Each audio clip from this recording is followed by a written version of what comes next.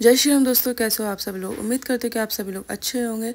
हम लोग भी अच्छे हैं। तो आप सभी को हमारे साइड से, पूरी परिवार की साइड से हैप्पी रामनवमी।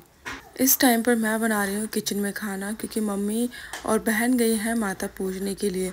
माता पूजन के लिए उन्होंने खाना बना लिया था अलग से। पहले जो भोग लगाना था माता का, वो चढ़ा दिया था, क्योंकि आज कंजक नहीं खिला रही है मम्मी।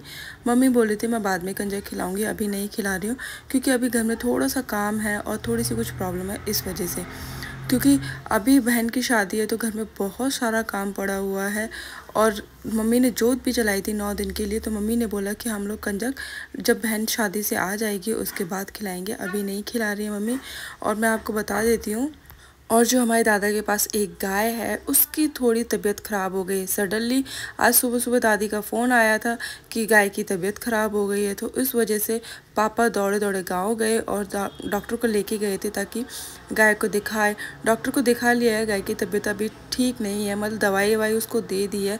इस टाइम पे बाहर, भाई जा रहा था कार्ड देने के लिए तो मैंने फटाफट उसके लिए पूड़ियाँ सेक दी ताकि वो कुछ खा कर चला जाए। क्योंकि भाई का भी अष्टमी का व्रत था तो घर पे व्रत खोल के जाए तो बेटर है। तो उसके लिए मैंने पूड़ी वगैरह सेक दी थी और चने बने हुए थे प्रसाद के तो वो उसके साथ खा के चला चला जाएगा। ताकि उसको रास्ते में भी परेशानी नहीं होगी। वो उसको जाना है शादी के कार्ड्स वगैरह लगाने के लिए। मामा मामा के यहाँ जाना है तो कि काफ़ी दूर है यहाँ से तो इस वजह से। तो वो तो चला गया है। अब मैं दिखाती हूँ कि मैंने खाने में आज क्या क्या बनाया है। मनु बोल रही थी, दीदी, मटर पनीर बनाना। तो उसके लिए मटर पनीर बनाया है। साथ में मैंने चावल की खीर बनाई है और रायता भी बनाया है। तो ये मैं आपको दिखा देती हूँ। यहाँ पर मेरी बहन की पूजा वगैरह सब कुछ हो गई थी।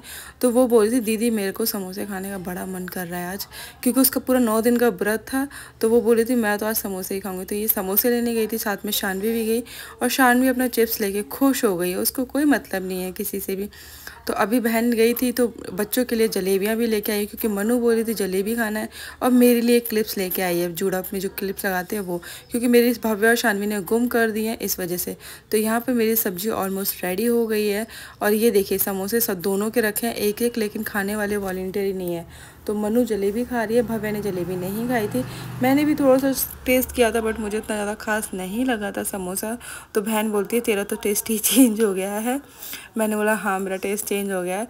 उतना खास नहीं लगा था बट ठीक था। मतलब जो टेस्ट मिलता था, वो टेस्ट नहीं था। फिर मैंने जलेबी खाई। जलेबी बहुत ज़्यादा टेस्टी थी। तो जलेबी तो अच्छी लगी। उसके बाद मम्मी भी आ गई थी किचन में। तो मम्मी भी, अब खाना बनाना मम्मी स्टार्ट कर रही है। क्योंकि आज का प्लान था, दादा, दादी, बुआ यहीं पे आ रही थी खाने के लिए क्योंकि हम लोग कंजक करने वाले थे बट कंजक नहीं की क्योंकि गाय की तबीयत ज़्यादा ख़राब हो गई इस वजह से। तो मम्मी उनकी का टिफ़िन पैक कर रही थी और दृष्टि आ गई थी। तो भव्य और शानवी जाने वाले हैं दादी हाउस कंजक खाने के लिए। बड़ी मम्मी ने इनको बुलाया था तो दृष्टि आई थी, ये जा रही हैं दोनों, तीनों बहनें जा रही हैं कंजक खाने के लिए। तो ये देखिए, भव्य रेडी होकर निकल गई है और ये देखिए शानवी का फाइनल हो कितनी ज़्यादा क्यूट लगे भव्य भी क्यूट लग रही है।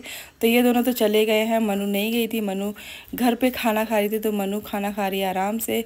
और ये मैं अपनी प्लेट भी लगा के लेकर आ गई हूँ खाने के लिए। क्योंकि मम्मी ने अभी तक खाना खाया नहीं था, बारह बजे का टाइम हो गया था। तो मम्मी के साथ ही हम लोग सब बैठ गए हैं दोनों बहनें बैठ गई हैं खाना खाने के लिए। क्योंकि मैं हमेशा शादी से पहले मैंने कभी भी अपनी अलग से प्लेट लेकर खाना नहीं खाया है। हमेशा मम्मी की प्लेट से, दादा की प्लेट से या भाई बहन की प्लेट से ऐसे ही खाना खाया। तो मम्मी जब भी खाना खाने बैठती है तो हमेशा याद करती है। मम्मी मना कर रही थी, बोलती, मैं तुम लोगों के साथ खाना नहीं खाऊँगी, एक साथ क्योंकि मुझे फिर तुम लोग चले जाते हो तो तुम लोग बहुत याद आते हो। तो मैं नहीं खाने वाली फिर मम्मी को बड़ी मुश्किल से मनाया तो मम्मी मान गई कि चलो साथ में खाना खा लेते हैं। खाना खाने के थोड़ी देर बाद बहन को जाना था पार्लर क्योंकि आज उसको लास्ट टाइम पार्लर बुलाया था इस वजह से। तो पार्लर हम लोग चले गए भाभी के यहाँ पे मतलब मेरी जिठानी के यहाँ पे, और वहाँ पे जो शानवी ने मस्ती की है वो ख़तरनाक वाली। इस टाइम पे घर पे आ गई थी और ये है शाम का टाइम तो यहाँ पे देखिए शानवी की मस्तियाँ। शानवी का फेवरेट वाला गाना लगा दिया है और उसकी चलियाँ भी मस्त हैं। ये देखिए, चश्मा मिल गया उसको मौसी का। चश्मा हम उल्टा ही लगाएँगे, सीधा चश्मा नहीं लगाएँगे। तो यहाँ पर उसको मनु मौसी उसकी हेल्प कर रही है उसको लगाने में और ये देखिए लड़की की खुशी देखिए। मतलब शानवी की मस्तियाँ तो हर जगह ही चलती रहती हैं। तो यहाँ पे शानवी की मस्तियाँ चली और मैं आपको दिखाती हूँ कि रात में खाना वाना खाने के बाद सब लोग आराम से लेटे हुए थे। मतलब भाव, भावना सो गई थी और मनु यहाँ पे बैठी हुई थी और भाव्या का स्कूल का काम आया था तो जो वो कर रही थी उसने कंप्लीट नहीं किया था। तो मैंने उसको पढ़ने के लिए बैठा रखा था, राइटिंग का था। तो मैंने बोला, तुम लिख लो बेटा, जितना काम रह गया उतना। तो बस वो वहीं बैठी हुई थी और शानवी फुल टू अपनी मस्ती में लगी हुई थी। और इस टाइम तक रात के देख सकते हो, पौने बारह बज चुके हैं, सब सो चुके हैं। मैं जग रही हूँ क्योंकि शानवी नहीं सोई है। इन मैडम ने पिकाबू विकाबू सब कुछ खेल लिया है। अभी थक गई हैं, लेकिन नहीं। इनको सोना तब भी नहीं है, ये तब भी बैठ के आराम से खेलेंगे। तो इस वीडियो बस इतना ही। मिलते हैं नेक्स्ट वीडियो में। अपना ध्यान रखिएगा। और वीडियो अच्छी लगी तो वीडियो को लाइक ज़रूर कर दीजिएगा। Thank you for watching